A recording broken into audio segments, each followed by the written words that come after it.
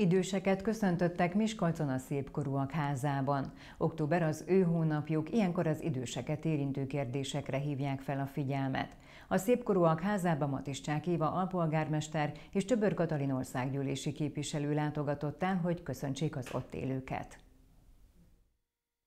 Semmi se kell, így van jól, nincs takaró Műsorral kedveskedtek a szépkorúak házában lakó időseknek. Az idősek hónapja alkalmából Miskolcon is kiemelt figyelmet kapnak a szépkorúak. Ilyenkor az őket érintő legfontosabb kérdésekre hívják fel a figyelmet. Természetesen nem csak a jelen hónapban, de az év minden napjában hálával és szeretettel gondolunk Önökre. De mit tud ma adni egy társadalom az ezüst generáció tagjainak? Biztonságot, hogy soha nem hagyja magukra önöket. És mit tud nyújtani a szépkorúak háza az itt élő lakóinak? Szeretetet, megbecsülést, figyelmet, törődést és gondoskodást.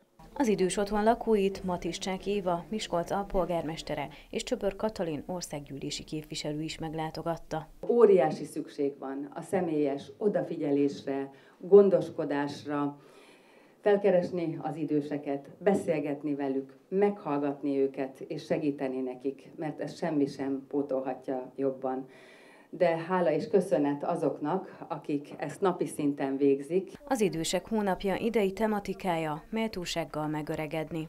Miskolc alpolgármestere szerint ezért a célért az aktív korosztály tehet a legtöbbet. Miskolc város vezetése és központi feladatának tekinti azt, hogy az itt élő, itt élő nyugdíjasok érezzék azt a megbecsülést, amely kiáll nekik a több évtizedes munkájukért.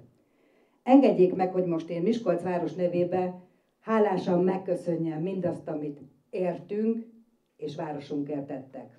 Az idősek napi rendezvényen azokat a lakókat, akik az otthon közösségi életében kiemelten részt vesznek, emléklapot kaptak.